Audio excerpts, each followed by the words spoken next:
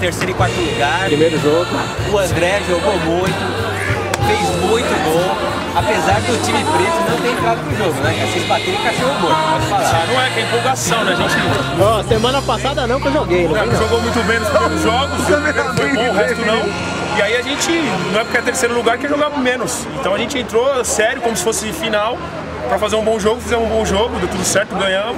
E só, vamos pro próximo só, jogo. só uma pergunta.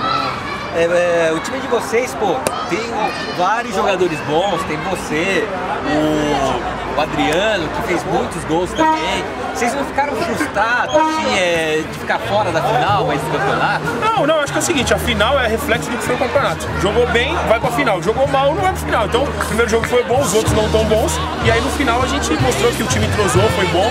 E a gente vai lutar no terceiro lugar. Ó, meus parabéns, obrigado de vocês, jogou muito. E pode pedir a música. Qual que é a música que você música, é, vamos lá. É o craque da rodada, fez três gols? We are the champions, a primeira terceiro lugar.